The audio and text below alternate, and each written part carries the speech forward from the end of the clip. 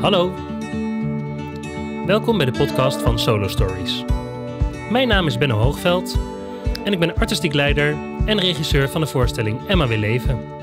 Vandaag ga je luisteren naar een gesprek met Lisse Knapen over de generale repetitie, maar ook over de boekpresentatie, de scènefoto's, de trailer die we moesten opnemen. Kortom, er is een hoop te bespreken. Moet je nadenken met zegt. One, two, two, one, one, One, two. one, two. Het is vandaag. Moet ik een datum 12 zeggen? Januari? Nee, 11 denk ik. 11 januari. Ja, gisteren was het de tiende, want het was namelijk een gisteren een hele belangrijke dag. Want daar gaan we over praten. Wat voor belangrijke dag was het gisteren? Gisteren hebben we voor het eerst een generale gedaan Mhm. van de voorstelling Emma wil leven. Heel goed. Voor eh, de vrienden en de familie en doktoren en een beetje pers en de omgeving van Emma. En? Laten we bij het begin van de dag beginnen. Hoe zag de hele dag eruit? Ja, wil je een eerlijke versie horen? Ja, de eerlijke versie. Nou, het was echt een rotdag. Want we begonnen al met dat... ehm, we moesten eerst een paar van de heftigste scènes doen voor de foto. En daarna nog een keer voor de trailer. Mhm. Ehm, dus toen moest ik de hele tijd eh, de zwaarste scènes herhalen. en daar was ook een soort tijdsdruk. Mhm. Eh, dus dat hebben we gedaan. En toen was het even een half uurtje pauze. En toen gingen we ehm, eh, naar de boekpresentatie. Mhm. Nee, het was helemaal niet eens een half uurtje pauze, vijf minuten. En toen gingen we naar de boek- boekpresentatie van Josja. Mhm. En eh, daar zagen we ook iedereen, tenminste ik zag toen ook voor iedereen voor het eerst. En ik had ook even helemaal niet ingeschat dat het zo'n grote groep zou zijn. En wie was iedereen? Eh, dat was eh, de ouders van Emma en haar zussen. En ooms en tantes. En ehm, mensen van Human Concern, van het bedrijf ook in Portugal, uit de Mhm. documentaire. En eh Annemarie, die ook in de podcast zit, was er. En wie nog meer? Nou, dat waren wel de mensen in Emma, der omgeving. Ja, Voor de rest waren er mensen van andere theaters om te komen kijken. ja, Er was al een klein beetje pers. die stonden daar allemaal. En natuurlijk de schrijver van het stuk. En Josja, de schrijver van het boek. Want wat was de bedoeling van die boekpresentatie? Eh, dat het boek gepresenteerd zou worden. ja, dat klopt. Nee, eh, dus eh, jullie van Solo Stories hebben dus gezorgd dat er ook een boek kwam. Mhm. En eh, dat werd daar gepresenteerd, toch? En eh dus Josja ging dat vertellen allemaal. Wat heb Ja. jij gedaan? Ik heb een gedicht voorgelezen. Ja, ik vond het echt een supermooi gedicht. Oh ja, Ja. dankjewel. Ik heb het papiertje nog. Ik denk, ja, wil je het voorlezen? Nou, ga je gang. Oké. De appel valt. Valt niet goed. Valt opnieuw en opnieuw. En de boom bukt zich, schudt zich. En de appel valt opnieuw. Steeds verder van de boom valt de appel. Valt, valt. Tot er niets meer valt te vallen. Ligt in het gras. Kijkt om zich heen, ziet de hemel. Ach, geen spoor meer van de zwaartekracht. Maar reeds met rasse schreden nadert de boom. Appeltje, appeltje. En niet ver van de appel valt de boom. Kom terug. Als ik die woorden eens zo zacht kon zeggen dat niemand ze kon horen. Dat niemand zelfs kon denken dat ik ze dacht. En als iemand dan terug zou zeggen, of desnoods alleen terug zou denken op een ochtend, ja. Mooi hoor. Dank je. Dus het eerste, want het zijn eigenlijk twee gedichtjes. Het zijn twee gedichtjes van Toon Tellig allebei. Ja, echt heel mooi. We gaan er even een screenshotje, dat heb je al gedaan, Ja. van maken. Kunnen we even erbij plaatsen, kunnen mensen het ook nog lezen. Ja, leuk. Echt heel mooi. Maar goed, dat moest je doen. Nou ja, dat, dat werd je opgedragen inderdaad. Daar was ik heel zenuwachtig Mhm. voor. Dat snap ik ook al, want het was echt vlak voordat je een doorloop moest spelen. Ja, en er hing ook wel echt een soort spanning, vond ik, in, Mhm. de, in de foyer. Omdat het toch iedereen is ook vrolijk op de een of andere manier om elkaar te zien of zo. En dat was ook wel Ja. fijn. En ik vond het heel fijn dat eh, de moeder van Emma, Marilise, dat ze me wel even wou spreken nog. En even een soort tooi wou wensen. En dat het ook wel... Voor haar was het ook wel belangrijk dat ik het in ieder geval goed had. Dat vond ik wel heel lief. Ja, en ook wel fijn. En ehm, Maar ja, er zit gewoon zo'n hoge druk op. Het gaat gewoon over hun dochter. Zij kennen haar. En dat was ik me ook wel bewust van onder de doorloop. Dat zij haar kennen en ik haar niet ken. En dat ik het wel doe. Ja, want laten we het even over de doorloop hebben. Ja. Want jij hebt natuurlijk op een andere plek ervaren dan dat ik dat heb gedaan. Ja. Ik zat best ook wel bij hun in de buurt. Ja. Ehm, maar eh, toen moest je dus opeens de voorstelling gaan spelen. Er Ja. zaten 50 mensen in de zaal, wat eigenlijk best wel veel was. Ja. Voor een generale repetitie. En het was toch eigenlijk een beetje al een soort van eerste try-out. Ja, heel. Want ja, je moest wel echt gaan. Ja, Het voelde niet als een generale. nee. En ben je gegaan? Ja.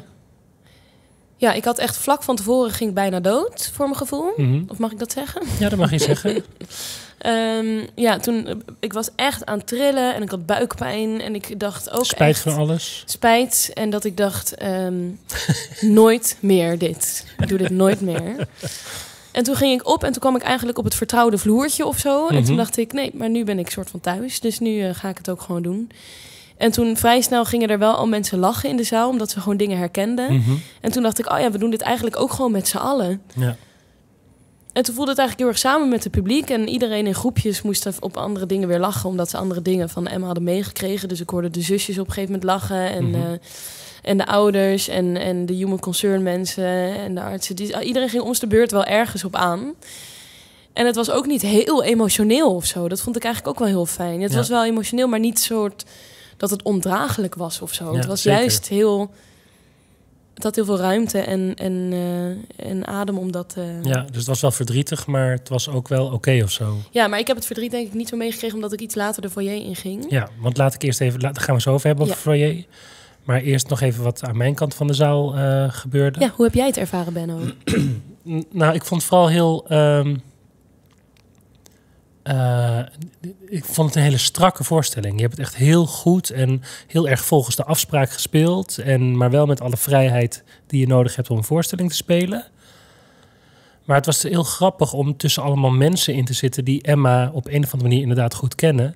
En wat jij zegt, die herkenning, dat hoorde ik nog veel meer waarschijnlijk dan dat jij hoorde. Omdat ook hele kleine gnifjes, eh, die Mhm. kwamen ook allemaal bij mij binnen. En daarbij eh, is het heel leuk om naast Merel te zitten, mijn zakelijke partner. Omdat zij ehm, eh, heel erg houdt van jouw eh, chagrijnige pubergedrag. dus er kwam gewoon heel veel... De, de, de zaal ademde gewoon heel erg mee. En het was echt doodstil op de momenten dat, het, dat ze stil moesten zijn. Ehm, maar ze zochten elkaar ook steeds op. Al was het maar in een blik even naar elkaar kijken. En een... ehm, ben je nog oké? Kan je het allemaal nog aan? Dat was allemaal heel, heel dat was gewoon een heel fijne vibe was er in ja de het was zaal. heel liefdevol. Ja, En En- ook naar mij, vond Ja. ik. en dan is het allemaal wel heel verdrietig, maar dan is het wel, dan is het wel warm. Ja. Ja. En toen waren we klaar met spelen. Ja. Toen zijn de mensen de zaal uitgegaan. Toen bleven de ouders en de zussen nog even achter. Die heb je nog even gesproken. Ja. Ja, dat was echt fijn. Ja, Ja? dat was super fijn. Omdat zij ook niet... eh, het was dus niet heel zwaar geweest, Nee. en, naar mijn idee. En dat, dat was eigenlijk heel chill. Dus het- we konden het ook echt over de voorstelling hebben. En de oudste zus, geloof ik, was het toch? Mhm. Die, ehm, eh, die oudste zus, die, eh, die kon het ook allemaal heel goed verwoorden. En die probeerde ook te verwoorden wat ze had gezien en wat ze mooi vond. En waar het, waarom ze dat vond. En dat was eigenlijk, het was echt een leuk gesprek over de voorstelling. En het was niet een soort verwerking of Nee, een soort... helemaal niet. Maar dat was ook zo mooi wat zij zeiden in de, tijdens de boekbespreking. Toen was uh, Marilies, de moeder, even aan het woord. En die zei ook van, in principe is deze voorstelling niet... Wij zijn niet de doelgroep. Nee. En dat, dat vond ik eigenlijk heel mooi gezegd. Ja. Want zij hadden wat dat betreft dit al afgesloten. Ja. Dus zij konden daardoor veel meer met afstand er naar kijken... dan dat wij van tevoren dachten Ja. dat, dat zij dat zouden kunnen. Ja, en volgens mij hebben ze het hartstikke goed ervaren. En ze Ja. zeiden ook meteen, ook ik vond het ook echt grappig en luchtig en fijn. Ja. En, eh, dus dat was supergoed. Dus dat voelde ook wel van, oké, nu en nu Nederland in. Precies, maar toen moest je eerst nog de foyer in. Ja. En hoe was het daar? Ja, ehm, iedereen was echt heel enthousiast. Toen was ik eigenlijk een beetje verbaasd over. Ik dacht dat ik echt van een paar mensen wel een soort... Ja, dit ging anders. Of, eh, maar helemaal niks. Gewoon iedereen was laaiend enthousiast. En heel lief ook. Ja. En ook een, er zat ook wel een soort dankbaarheid in, maar niet een soort van, oh, ook niet zwaar. Gewoon meer van, oh, te gek dat jullie het zo hebben neergezet Ja. en het klopt ook. Ja. Ik heb wel veel tranen gezien. Ik was natuurlijk iets Ja, eerder dan dat ik jij er was. Nee. En, maar ook wel positieve tranen op een of andere manier. Hoor. Ja. Dat mensen allemaal wel zeiden, oh, ik ben heel verdrietig van, maar ik herken ook heel veel in mezelf. Eh, niet zozeer in eetproblemen, maar wel in zelfkritiek of Ja. in iets controle willen. eh, maar ook gewoon verdrietig zijn over de voorstelling en de heftigheid van het thema. Maar ook uiteindelijk ging iedereen wel met kracht naar buiten. Dat was echt te gek. Ja, ik werd ontzettend gekust en geknuffeld ook. En op een hele stevige, lange Ja, handdruk. ja precies. Dat vond ik ook wel echt leuk. Ja, Dus iedereen was op een of andere manier blij. Ja, Ja. ja, het had echt een hele lichte, Ja. fijne sfeer. En Ja. iedereen was heel, ook echt aan het praten erover. En dat vond ik heel leuk, want het was niet een alleen, hey, goed gedaan. Maar het was echt een, dat iemand ook even die iets over wou vertellen, over wat hij vond. Of, Ja. eh, of, of, of zijn verhaal eventjes doen. Maar ook niet, dus allemaal niet op een zware manier, maar gewoon een leuk gesprek. En denk je dat dat een verschil is met vanaf vandaag? Waar zijn we vandaag? We zijn vandaag in Nijmegen. Mhm. En ehm, daar gaan we spelen voor. Ik vergeet het. Is nou, zijn het nou geneeskundestudenten? Volgens mij zijn het. eh, we, dat, volgens mij gaan we vandaag spelen voor eh, masterstudenten psychologie. Oké. Ik denk dat dat het is. Dat zal ik zo nog even uitzoeken. Ja, er zit ook een hele grote geneeskunde ja, dat is natuurlijk ook wel. hier, toch? Dus Ja, misschien ja. een... ja. Ja. Dus Zoiets in ieder geval. Ja, oké. maar waar ik even naartoe wilde was dat dat natuurlijk anders is dan gisteren. Ja. Omdat gisteren had iedereen op een of andere manier verbinding met Emma. Ja. En dus er zat ook nog een gunfactor en een herkenningscomponent. Ja. En dat gaat vanaf vandaag minder dan wel niet zijn. Dus het gaat een hele nieuwe vibe spelen. Ja. Daar heb ik wel heel veel zin in. Ik, Ik ben ook heel benieuwd hoe Ja. dat... Ik ook.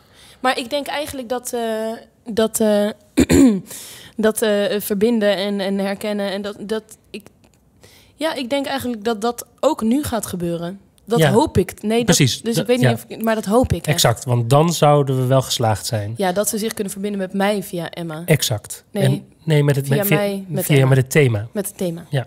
En dat dus Emma in die zin alleen maar een middel is om het thema en de problematiek van controle, zelfkritiek en eetstoornis eigenlijk op een soort van tweede vlak. Ja. eh, om, om daarmee aan de slag te gaan via Ja. jou. Ja. Spannend. Ja, ik vind het ook spannend, maar vooral heel leuk. Ik ben gewoon heel nieuwsgierig. Dus dat is eigenlijk wat er nu vooral... Ik ben nu ook niet nerveus of zo. Wat, zei, wat was het eerste dat je zei toen ik je vanmorgen zag? Zin in? Ja. Ja, zin in. Ja, ik heb er ook zoveel echt... zin in. Ja, echt. Ja. Ja. had ik gisteravond dacht ik ook al, oh, ik kan niet wachten tot morgen. Ja, lekker spelen. Ja, en ook eh, voor verschillend publiek juist spelen. Ja. Dus kijken hoe reageren mensen, wat voor, wat komt er allemaal, wie komen er kijken. Hè? Ja. Zijn het echt alleen maar mensen die verbinding hebben met de ziekte, of zijn het ook mensen die gewoon nieuwsgierig zijn of de Ja, documentaire ik hoop ook wel gewoon dat er echt theatermensen Dat komen. Want het is echt. los van het thema. Het is niet alleen maar een thema, thematische Helemaal voorstelling. Het is ook gewoon een voorstelling. Ja, en zoals is dat Hamlet ook een voorstelling Ik vind is. het heel mooi vormgegeven ook. En Ik dat ook. is ook wel echt heel leuk Ja. om te zien. Want dat hebben we de afgelopen dagen gedaan. We hebben gemonteerd. Ja. En wat houdt monteren precies in? Nou, dat betekent dat je eigenlijk uit je repetitieruimte komt. Dus uit Mhm. je kantoorkamertje. Ja. Ga je in het theater in. En ehm, eh, dan komt licht en geluid eigenlijk allemaal samen. Mhm. En het origineel, echt het, eh, het decor en eh, alles hoe het bedacht is, komt dan een soort van samen. En dat Mhm. wordt dan aan elkaar gemonteerd. En kan je iets over vertellen? Wat, wat we dan allemaal daar doen? Vanaf nu staan er trouwens ook foto's op onze website te zien. Ja, leuk hè? Dus dan kunnen mensen ook... www.solostories.nl Goed zo. Dankjewel. Eh ja, dat, eh, eh, dus lichtstanden maken. Dus, dan, dus in het begin toen ik... Eerst was ik al niet bij de eerste dag. Dus dan wordt Mhm. het echt alleen maar opgebouwd en besproken. En door ehm, de licht- en decorontwerper en de technicus die meegaat op tour en Benno. En ehm, de regisseur. En dan de dag daarna dat ik erbij kwam, dan gaan we echt alleen maar beginnetjes en eindjes van scène. En in wat voor licht wil je het hebben en waar moet je staan en eh, allemaal dat soort dingen. En waar sta je dan op? Wat, wat, wat is het decor bijvoorbeeld? Eh, ik sta eigenlijk op een wit vlak. Mhm. En dat witte vlak, op dat witte vlak staat een, eh, hoe noem je, een beschrijving in tekeningen hoe je een kraanvogel vouwt. En dat is dezelfde kraanvogel die weer op de poster staat ook. Die op de post staat en die je na de voorstelling kan vouwen. Oh ja, Bij eh Annemiek, die staat dan in de foyer. Ja, want waarom kan je die bij Annemiek vouwen? Eh, die gaat ze dan verzamelen. Mhm. En, eh, want het zit in de voorstelling De Kraanvogel. Mhm. Omdat volgens Emma, die had iets gehoord over Sadako Sasaki. Wie is dat? Die, dat is een, atleet, moet ik dat zo noemen? Ja, Of moet ik gewoon even de tekst helemaal doen? nee, je hoeft niet.